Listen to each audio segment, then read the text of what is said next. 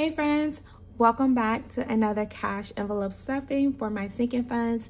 So by the title of today's video, you can see we are doing a $175 low income cash envelope stuffing for low income budgets.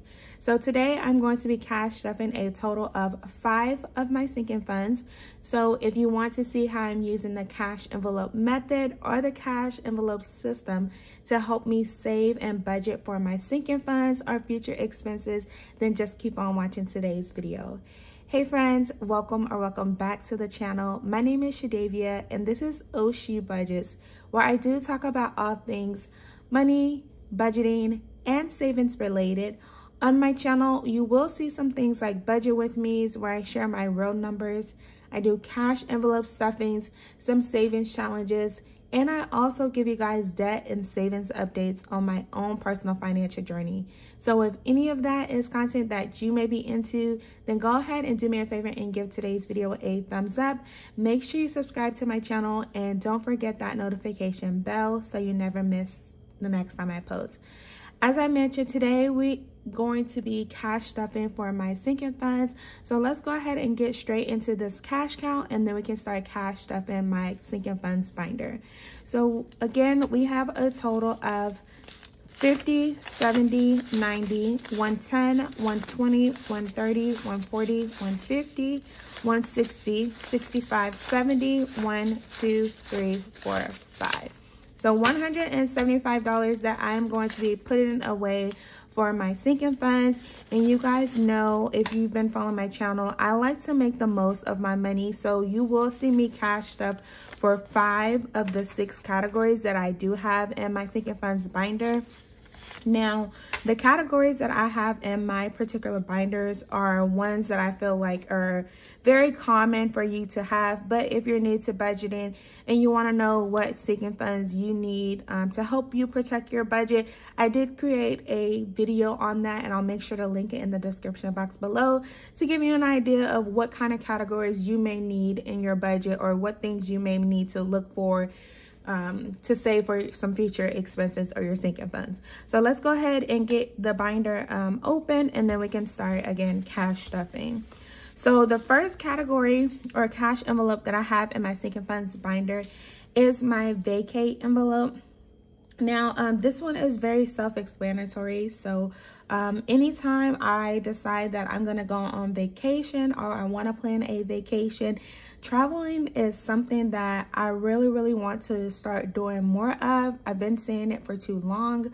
Um, this year, I had some plans to travel for my birthday, um, out of the country. Actually, I got my passport last year, but I have yet to use it. Um, so I still want to travel for my birthday. I think it's just going to be in country just for my own budget sake and time sake um, since I'm so last minute with everything. Um, but for today's cash envelope stuffing, I did go ahead and budget out $20, which may not seem like a lot, you guys, um, but this $20 is just going to be added to this envelope. And as time goes on, um, once I'm actually more sure of, you know, where I'm going, how much I'll need, then obviously I will intensify, you know, how much I'm actually cash stuffing into the binder. So um, today we have 10, 20, 30, 40. So $40 in our vacay sinking funds envelope. So let me go ahead and update my tracker as well and then that way um, I can just make sure I'm staying on top of everything. So that is our vacay envelope. Today is, this video is gonna go out on the 6th. So we're gonna add the $20 there. And then now again, we have $40 into our sinking funds binder. Now, the next cash envelope that I have in my sinking funds binder is my car maintenance envelope. And I'm actually opting not to cash stuff for this um, cash envelope today for my sinking funds. And the reason is because if you check out any of my other budget with me videos or cash envelope uh, videos, then you'll know that anytime I have money left over in my car envelope, which is in my variable expense binder, and that just takes care of you know daily or weekly spending. But if i do in fact have some gas um, money or gas um, budget left, then I'll just roll it over to my car maintenance sinking funds. And so because I've been doing that forever, it seems like, um, it has really paid off. So as you can see here, let me turn it so you guys can see. But there's already $133 in there. Um, I'm comfortable with that amount. It doesn't take care of everything. I don't feel like, you know, I'll right now, let me say that, right now I don't have all of the money that I need to just be able to take care of, you know, any and everything under the sun. But I just have to be realistic with myself. And so one of the things that I know for sure is coming up in the month of August is my car registration. Um, and so as soon as I get that, which will probably be sometime between the end of this month and next month, I can go ahead and take care of that hassle free and I don't have to worry about, you know, taking money out of my budget from somewhere else. Um, this will also take care of any car maintenance, like uh, getting a car wash, um, oil change, any of that. So right now I feel comfortable with the amount that's in my car maintenance. Um, again, not taking care of everything, but uh, enough for me to not be able to cash stuff with uh, such a low amount um, of cash that I have today. So that's my car maintenance envelope. Now, the next cash envelope that I am going to stuff for it in my sinking funds binder is my date night envelope. Now, this one, again, self-explanatory, um, very, very common for people to have if you do have a spouse or a partner or you just are dating yourself. Um, you can, you know, create a date night envelope for yourself or a self-care envelope and it just put it just allows you to put money aside to be able to treat yourself um, if you're a you know spouse um some and you have kids like us sometimes we forget that we also need to take time out to spend time with each other and not always just being as a family unit uh unit. So with today's cash envelope stuffing of my sinking funds i did go ahead and budget out 35 dollars. So i'm gonna go ahead and put 20 30 35 dollars to what we already have in our um, date night envelope. And let's see how much not much because um, we did use some of the funds in there but let's see. We have 20 30 40 45 50 so now we have 50 dollars um, set aside for a date night. And this is for when i treat. This is not when my husband decides that we're gonna go on a date and he's gonna pay for it. This is simply when i decide hey let's go on a date or if we're there i'm gonna be like you know i'll treat it this time or i'll take care of it this time um, and so now we have $50 in our date night sinking funds now, um, the next cash envelope that I am going to be cash stuffing, which is going to get a majority of my um, cash today, is for my kids. Uh, so as I mentioned earlier, or if you've been following my channel for a while, then you know I'm a family of five. And I've come up with this, not strategy, but I would say plan more so, where um, every quarter, just to make it more manageable for myself, I'm gonna try to put aside a $100 per kid and we have three. So that means that every three months, I need at least $300 in this cash envelope to be able to update their wardrobe, get them new shoes, undergarments, whatever they're needing at that time. I'm not necessarily saying that every single three months they'll need something else, but I love the idea of being able to have the funds set aside for them. Um, so with it being summer, I do need to go ahead and go through their clothes. Um, and, you know, by the end of this month, I need to have at least, again, at least or minimum $300 to be able to get them a few items. And then, you know, school will start in August and we'll need to come up with a game plan with that as well. So today's cash stuffing sinking funds for my kids is actually going to get $95. And that is because as you can see here, and I'll need to, I'm going to take a tracker from the back. Um, I have $105 that's already in here. So when I put the $95, it should take it up to 200 which means that um, let's see 50 90 95 so it should take it up to 200 and then that means for the month of june i just need to make sure i set aside at least another 100 dollars to um, reach that $300 limit or goal amount i guess. Um, so again for the kids we have 50 100 20 40 60 80 90 95 200 so $200 now that we have set aside for the kiddos um, which we could probably even start you know shopping now or looking and trying to decide what things they may actually need. I'm gonna go back here really quick um, to be able to go ahead and and start kind of pre-planning for that. So i'm gonna take this one from the back because as you can see that tracker has already been filled um, with just the different things that kids need, you know? They, I feel like they always need something. So today, the date is gonna be the 6th.